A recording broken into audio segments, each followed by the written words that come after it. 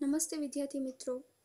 ધોરણ પાંચ કમ્પ્યુટર વિષયની અંદર પાઠ પહેલો કમ્પ્યુટર જનરેશન વિશે આપણે આગળના વિડીયોમાં ત્રણ જનરેશન જોઈ હતી. આજે આપણે જોઈશું ચતુર્થ જનરેશન અને પાંચમું જનરેશન. ચતુર્થ જનરેશન શું છે? તો કે ચતુર્થ જનરેશનનો સમયગાળો છે એ ઓગણીસો પંચોતેરથી ઓગણીસો ને પંચ્યાસી સુધીનો હતો. ઓગણીસો પંચોતેરથી ઓગણીસો પંચ્યાસી સુધી ચતુર્થ જનરેશન રહેલી હતી. આ જનરેશનની અંદર સેમી કન્ડક્ટર ટેકનોલોજીનો વિકાસ થયો હતો.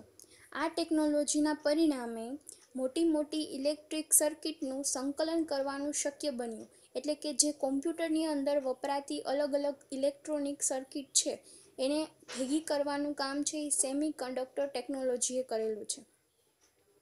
જેને લાર્જ સ્કેલ ઇન્ટિગ્રેશન તરીકે પણ ઓળખવામાં આવે છે. હવે કમ્પ્યુટરનું કદ છે એ ખૂબ જ નાનું એટલે કે નાના ટેબલ પર મૂકી શકાય તેવું હતું. કારણ કે આ ટેકનોલોજી છે, એના લીધે મોટી મોટી ઇલેક્ટ્રિક સર્કિટ છે, એને એ ભેગી કરવામાં સરળતા રહેલી હતી. એટલા માટે કમ્પ્યુટરનું કદ પણ છે એ નાનું એક નાના ટેબલ પર મૂકી શકાય એવું થઈ ગયું. આવા કમ્પ્યુટર જોઈએ તો એમાં Apple series, Intel four zero four zero four એ આ પ્રકારના કમ્પ્યુટરનું ઉદાહરણ છે. ત્યાર પછી જોઈએ પાંચમું જનરેશન. પાંચમું જનરેશન છે, એનો સમયગાળો છે એ ઓગણીસો ને પંચ્યાસીથી અત્યાર સુધીનો સમયગાળો. કમ્પ્યુટરના પાંચમા જનરેશનનો સમયગાળો ઓળખવામાં આવે છે. અત્યારે આપણે જે કમ્પ્યુટર વાપરીએ છીએ તે પાંચમા જનરેશનનું આવિષ્કાર છે. હવે પછીના કમ્પ્યુટર છે એ આર્ટિફિશિયલ ઇન્ટેલિજન્સ ધરાવતા હશે.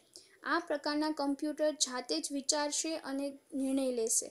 રોબોટ એ આ પ્રકારના કમ્પ્યુટરનું ઉદાહરણ છે. પાંચમું જનરેશન છે. એનો સમયગાળો છે એ ઓગણીસો ને પંચ્યાસીથી અત્યાર સુધીનો સમયગાળો રહેલો છે. આ સમયગાળા દરમિયાન પાંચમા જનરેશનની અંદર જે કોમ્પ્યુટર અત્યારે આપણે વાપરીએ છીએ એ પાંચમા જનરેશનના કોમ્પ્યુટર તરીકે ઓળખી શકાય. હવે આ કમ્પ્યુટરની અંદર કઈ ટેકનોલોજીનો ઉપયોગ થતો હતો? તો કે આર્ટિફિશિયલ ઇન્ટેલિજન્સ આર્ટિફિશિયલ ઇન્ટેલિજન્સ દ્વારા આપણે આ કમ્પ્યુટરનો ઉપયોગ કરીએ છીએ. આ પ્રકારના કમ્પ્યુટર છે એ જાતે જ વિચારશે અને નિર્ણય લેશે. એવા પ્રકારના કમ્પ્યુટરનો આવી બનાવવામાં આવે છે.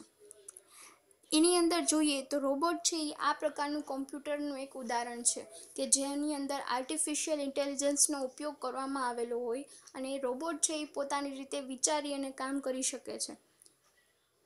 તો આ હતી આપણી ચતુર્થ જનરેશન અને પાંચમું જનરેશન અત્યાર સુધી આપણે પાંચ જનરેશન પૂરા કર્યા.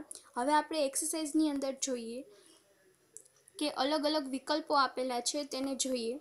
પહેલો વિકલ્પ છે ઈસવીસન ઓગણીસો બેતાલીસથી ઓગણીસો ને પંચાવન સુધીનો સમય કમ્પ્યુટરના ખાલી જગ્યા જનરેશનનો સમયગાળો હતો. તો ઈસવીસન ઓગણીસો બેતાલીસથી ઓગણીસો પંચાવન સુધીનો સમયગાળો છે. એ પ્રથમ જનરેશનનો સમયગાળો ગણવામાં આવતો. એટલા માટે આમાં જવાબ આવશે પ્રથમ. ત્યાર પછી બીજો વિકલ્પ. પ્રથમ જનરેશનના કમ્પ્યુટરની બનાવટમાં ખાલી જગ્યાનો ઉપયોગ થતો હતો તો કે પ્રથમ જનરેશનની ના કમ્પ્યુટરની બનાવટની અંદર વેક્યુમ ટ્યુબનો ઉપયોગ થતો હતો. જેમાં અઢાર હજાર જેટલી વેક્યુમ ટ્યુબનો ઉપયોગ કરવામાં આવતો હતો. ત્યાર પછી ત્રીજો વિકલ્પ, ખાલી જગ્યાએ પ્રથમ જનરેશનનું કમ્પ્યુટર હતું. તો કે એનિયાક છે એ પ્રથમ જનરેશનનું કમ્પ્યુટર હતું, જે આપણે આગળના વિડીયોમાં જોયું હતું. એનિયાક ખૂબ જ વિશાળ કદના અને પુષ્કળ ગરમી ધરાવતા હતા. સાચું. એનિયાક છે એની અંદર અઢાર હજાર જેટલી વેક્યુમ ટ્યુબનો ઉપયોગ થતો હતો તેમજ પ્રથમ જનરેશનના કમ્પ્યુટર છે એનું કદ પણ એક આખા રૂમમાં સમય એવડું હતું. એટલા માટે એમાંથી પુષ્કળ ગરમી છે એ ઉત્પન્ન થતી હતી. ત્યાર પછી પાંચમો વિકલ્પ, ખાલી જગ્યાએ ટ્રાન્ઝિસ્ટરની શોધ કરી વિલિયમ બી શોકલી. વિલિયમ બી શોકલી નામના વૈજ્ઞાનિકે છે એ ટ્રાન્ઝિસ્ટરની શોધ કરી હતી. છઠ્ઠો વિકલ્પ ટ્રાન્ઝિસ્ટરનું કદ વેક્યુમ ટ્યુબ કરતાં મોટું હતું. ખોટું. ટ્રાન્ઝિસ્ટરનું કદ છે એ વેક્યુમ ટ્યુબ કરતાં નાનું હતું. સાતમો વિકલ્પ. કમ્પ્યુટરના તૃતીય જનરેશનના સમયમાં ખાલી જગ્યાની શોધ થઈ હતી. કમ્પ્યુટરના તૃતીય જનરેશનના સમયગાળામાં આઈસી એટલે કે ઇન્ટિગ્રેટેડ સર્કિટની શોધ થઈ હતી. આઠમો વિકલ્પ. આઈબીએમ ત્રણસો સાઠ એ ખાલી જગ્યા જનરેશનનું કમ્પ્યુટર હતું. તૃતીય. આઈબીએમ ત્રણસો સાઠ એ તૃતીય જનરેશનનું કોમ્પ્યુટર હતું. નવમો વિકલ્પ, સેમિકન્ડક્ટર ટેકનોલોજીનો વિકાસ ખાલી જગ્યા જનરેશનમાં થયો હતો.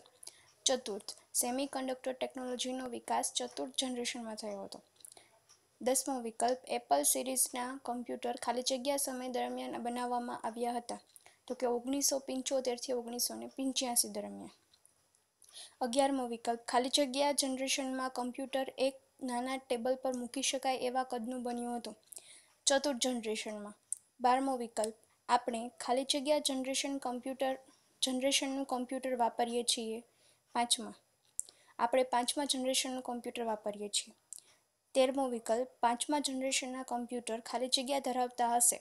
આર્ટિફિશિયલ ઇન્ટેલિજન્સ ચૌદમો વિકલ્પ. ખાલી જગ્યાએ આર્ટિફિશિયલ ઇન્ટેલિજન્સનું ઉદાહરણ છે. તો કે રોબોટ પંદરમો વિકલ્પ કમ્પ્યુટરનું પાંચમું જનરેશન ક્યારથી શરૂ થયું? ઓગણીસો ને પંચ્યાસીથી સોળમો વિકલ્પ મોટી મોટી ઇલેક્ટ્રિક સર્કિટનું સંકલન એટલે લાર્જ સ્કેલ ઇન્ટિગ્રેશન સત્તરમો વિકલ્પ આર્ટિફિશિયલ ઇન્ટેલિજન્સ એટલે કૃત્રિમ બુદ્ધિમત્તા. અઢારમો વિકલ્પ એક કમ્પ્યુટર બનાવવા માટે ખાલી જગ્યા જેટલી વેક્યુમ ટ્યુબનો ઉપયોગ થતો હતો. તો કે અઢાર હજાર. તો વિદ્યાર્થી મિત્રો આ પાઠ પહેલો આપણો અહીંયા આજે પૂરો થાય છે.